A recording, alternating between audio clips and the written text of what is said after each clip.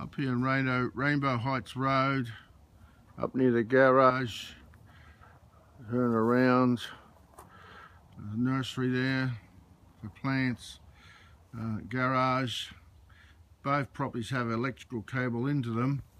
And then when you go inside, um,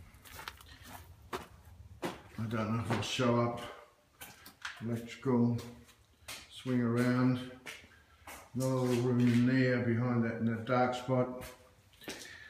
Come out around the back of here.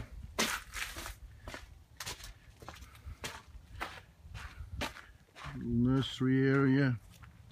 It's got a makeshift bathroom in the shed here, very makeshift. And then you've got this sort of creaky thing running through. I'll come back out.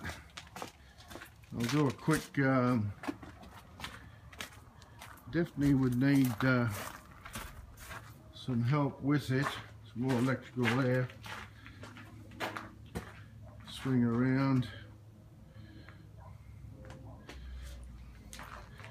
Come back out. Rather steep. A little shed up there. I don't know what it's for.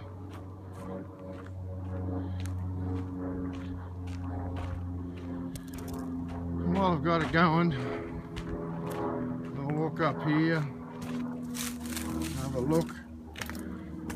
Yeah, just doing a quick video of the uh, terrain